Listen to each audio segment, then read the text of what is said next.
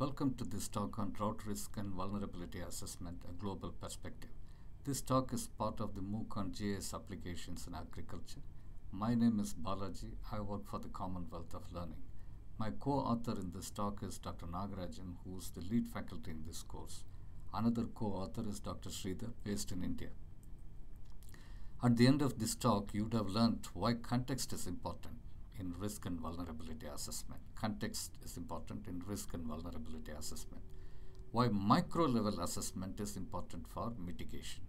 Micro level assessment is something we spoke about in another lecture, and that is very important for mitigation. Importance of context must be known to everyone. We all by now understand what it is to assess vulnerability and we learned at, in an earlier part of the course about adaptive capacity. Adaptive capacity is essentially local capacity to adapt to drought. It is estimated using local parameters. For example, if farmers are able to follow advanced water conservation practices, then the impact of drought would be much less on them. That is their adaptive capacity, and it has a role in final assessment of vulnerability. And that's why contextual information is very important in planning drought mitigation. Let us look at vulnerability assessment from a very large scale overview. Here is an overview of an entire continent presented in terms of vulnerability to water shortages. Water availability is estimated in per capita availability and different parameters are set up to measure vulnerability all the way to scarcity.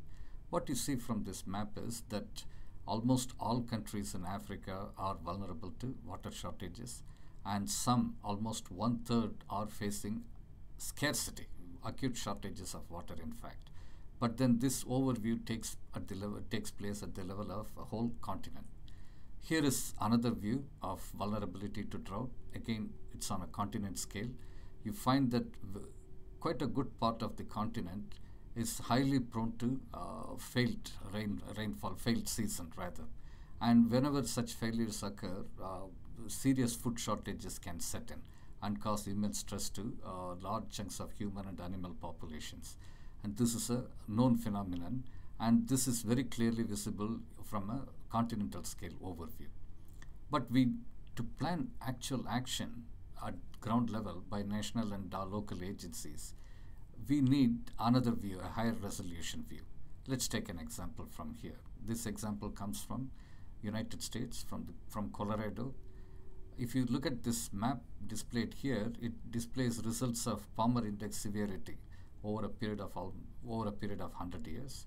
And when you look at Colorado marked here in uh, uh, marked here with an arrow, you find that it has it is one of the worst affected uh, states and in fact it looks like it has no practically no region at all which is not severely drought prone. And we need to however to plan action in the state. Authorities there looked at it from a higher resolution. For example look, look at this map which shows county borders and it also shows potential population growth in the in the state. And a similar map is available on the same scale to estimate to convey agricultural vulnerability to drought and what you notice here is that uh, agricultural vulnerability is not uniform, it's not uniformly severe. That is a view you got when you looked at it from a country level overview. And now when you go down to this level of overview, you find that there are in fact spots that are not affected by drought very much at all. So there is a reasonable variation here. And this is visible only when we went down to a higher resolution or to a different level, not from the global or country level. We'll look at one more example. You looked at this map for, of drought vulnerability at a micro scale for a cluster of about 300 villages in south central India. It was presented in one of the earlier lectures. When you look at drought vulnerability from here, what you would estimate is that just over half the villages here, almost 150 villages, are reasonably and highly drought prone. That's the result that you get uh, by making the, by looking at this assessment. Now, when you combine this with adaptive capacity, which was also presented in an earlier lecture, and that lecture also discussed how adaptive capacity is computed, calculated. When you combine adaptive capacity, which is presented in this map, with vulnerability, which is presented in an earlier map here, you would conclude that more than half the villages are less vulnerable to drought, which is very different from the conclusion you arrived at. That's because you are able to combine contextual information with information available only from overviews. GIS can help mitigation at micro level. Mitigation is action planned on the basis of contextual information. When you combine GIS tools, you can offer more precise plan, crop planning advisory. You can give far more targeted advice on local water rights management and you can offer advice on very, very advanced conservation and very focused conservation practices, both for water as well as for forest resources management. And a number of these possibilities can be listed. In summary, global scale risk and vulnerability assessment is important. It gives very good overviews and can help national and international agencies prepare. Whereas information on context is necessary to decide on mitigation steps to plan very effective and very, very focused mitigation steps, micro level assessment is necessary. Except for what you have seen in this course, there is not much progress in this area. GIS tools can make a very big contribution here.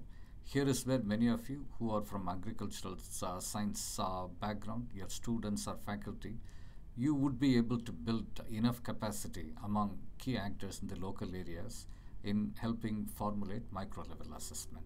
That will be a big contribution this community can make. While closing, I would like to mention that this lecture, this particular talk and the slides are available under a Creative Commons license.